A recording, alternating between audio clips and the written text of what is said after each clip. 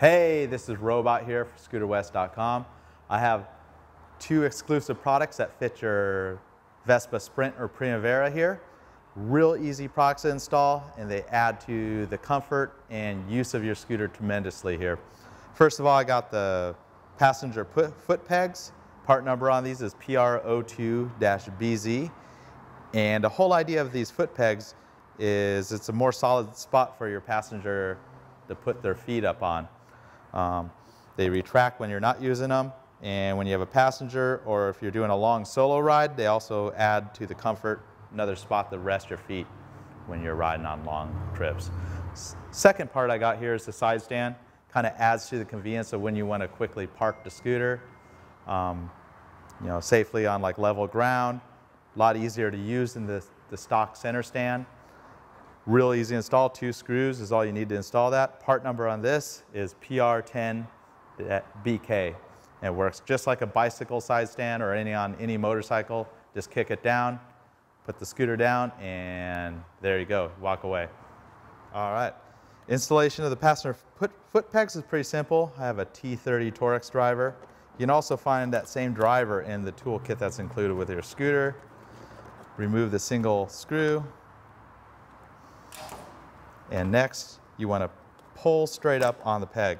It's retained by these two clips right here and pulls right out. And you'll find one screw exposed under, underneath the original foot peg, T25 fastener. Go ahead and remove this screw. The left and the right install pretty much identical. Go ahead and put the peg down and get the included stainless steel screw started by hand. And then there's the second screw. Take your four millimeter Allen. This one's got a ball end, so you can kind of get a little bit more clearance when tightening the screw here. And the Phillips screw in the front.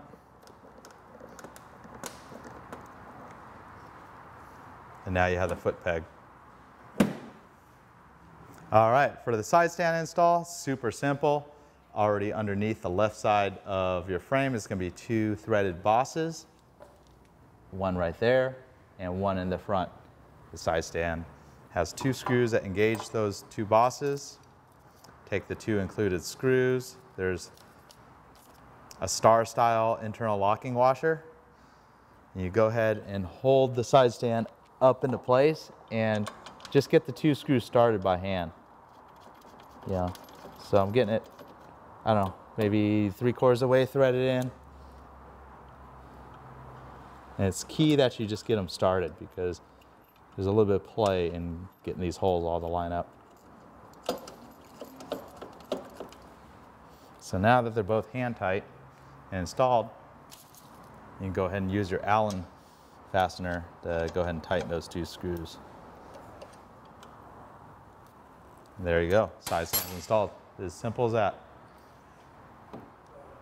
All right, got, got the side stand installed. I'll show you how that works. So say I'm gonna park on a level surface or up, back the scooter up against a curb. Just get in there, kick that down. I always like to hold it with my foot just to be safe.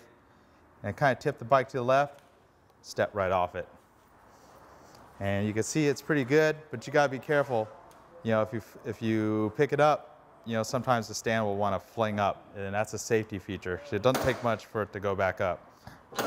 You know, it's, it's spring loaded. So, you know, you put down, make sure it's, it's all the way retracted. Don't want to have the scooter fall over. Again, hop on the scooter, kick it up, start the scooter and go away. But you got the pegs, you can use your heel to flick them out. Cool thing is you could kind of rest your feet on it, just as a different spot. So you go from the floorboard to here, but ideally they're set up for your passenger. So, you know, say you have a passenger on the back, sitting on the back seat, good spot for them to put your, their feet versus a stock uh, setup. You kind of get your whole foot on the floorboard on whatever that little plasticky thing that they normally come with. So this works much better for the passengers.